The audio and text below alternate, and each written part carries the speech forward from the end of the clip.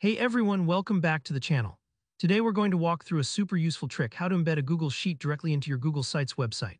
By the end of this tutorial, you'll be able to make any updates to your Google Sheet and see them reflected instantly on your website, making your content dynamic and always up to date. So whether you're sharing a schedule, a budget, or anything that needs to be interactive or updated on the fly, this guide has you covered.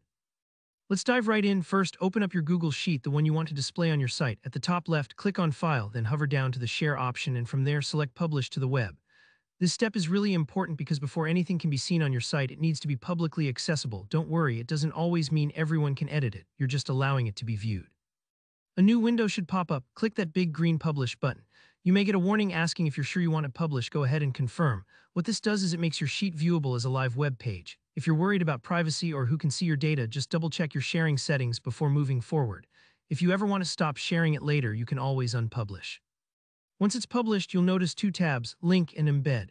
Click on the Embed tab, this is where the magic happens. You'll see a box with some HTML code inside. Go ahead and copy this entire block of code, it usually starts with iframe. This bit of code acts kind of like a window, allowing your sheet to be displayed directly on another page, in this case your Google site. Now switch over to your Google Sites project. Just open up the page where you want to add your spreadsheet.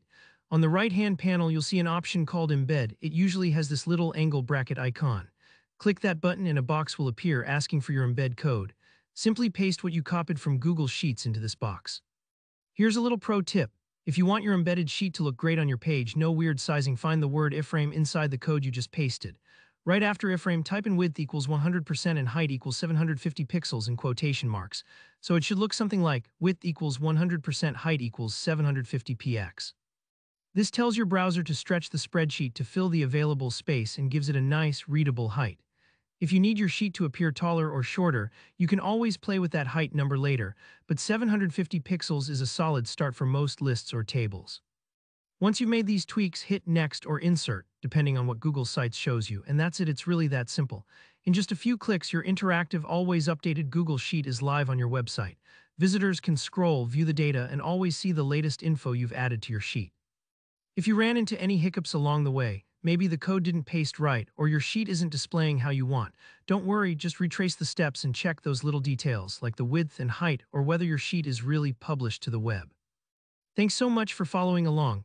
If you found this tutorial helpful, give it a thumbs up, and if you've got any questions or if there's another trick with Google Sites or Google Sheets you want to learn, drop a comment below. I always love hearing from you. And don't forget to subscribe for more easy-to-follow tech tutorials just like this one. See you in the next video.